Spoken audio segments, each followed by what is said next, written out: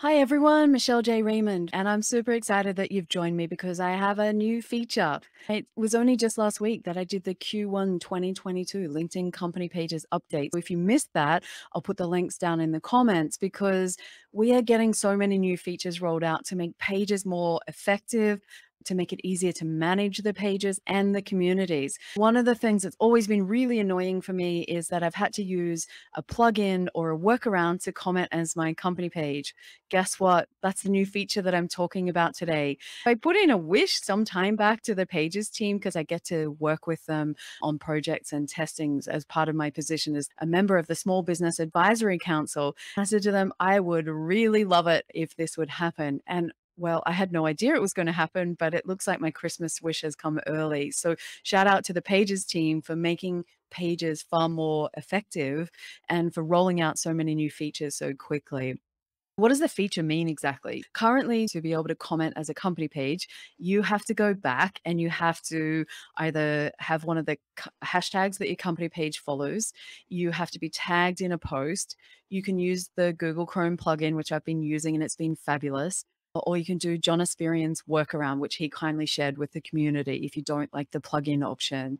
So all of those things are a bit convoluted. They take time and it's time that page admins don't have. I feel your pain. Why would we want this? Because it makes life easier. What does it look like exactly? I'm going to shoot over here and show you. If we have a look at this screen, how are you going to tell whether you have it? First stop is you're going to go next to the row that's got like and comment and share and send. And see here, see my little face?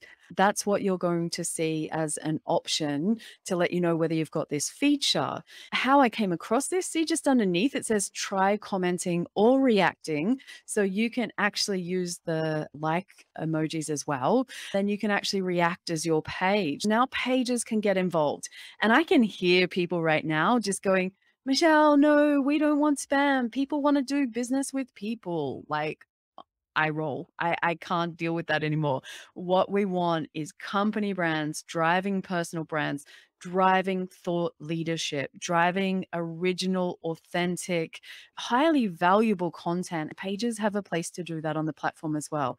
It is, after all, the number one B2B platform for marketers because we know the audience is there. So it makes sense that we get better at this, people. We don't avoid it, we get better at it. This is where I learned about it. If you have that option, you also have options to be able to comment or like as your company page. Good news, if you manage multiple pages, no problem. You handle it all within here. Like, honestly, I am so excited. And I'll be sh- certainly sharing that with the pages team. The drop down box shows you all the pages that you've got. For instance, I want to comment as Good Trading Co. in this particular example. And all it does is it swaps it over and then I just start commenting. Now, that is so easy, right? So easy. Now, what happens when things are easy, people? This is what happens.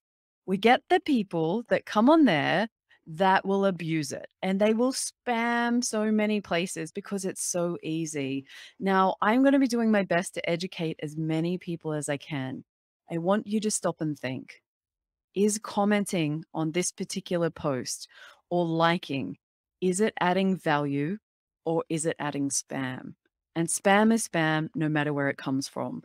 So if it's a competitor, if it's uh, someone else within your industry, take a look and see is it really appropriate for your business to be commenting on somebody else's business's post. Now, in some cases, it might actually be. In that case, it's fine. But I want stop, think, before we go out there and just go crazy.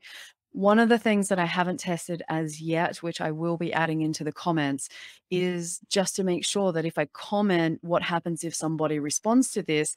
Do I get notified? Historically, that hasn't been the case, and that's my concern. Imagine you go out, you comment on 50 posts because you thought that that was a great idea. You raise your brand awareness, you've been really considerate, and you've sparked someone's interest. And then from that interest, they respond to your comment but you don't get notified. You don't respond. What happens? You look rude and you are going to damage and break that trust. That trust factor that's so important, you're going to break that. From that perspective, I'm just going to be erring on the side of caution, is the right words that I want to use, and encourage other people to do the same thing. Now, one of the other ways, so the home feed is one option that you've got. What's the other options? You can actually just go to the person's profile, go and have a look at any of their posts. You could be a lot more targeted around the way that you would use this. My idea is go back, have a look at your strategy for your company page. What is it that you're setting out to do? Who are your ideal clients? Who are you trying to target? Where does it make sense for you to invest your time and your knowledge to add to conversations?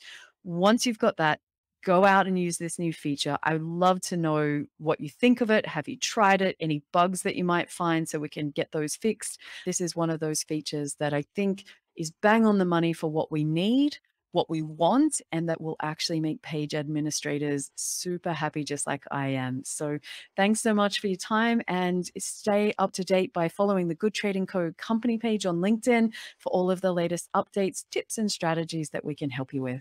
Cheers.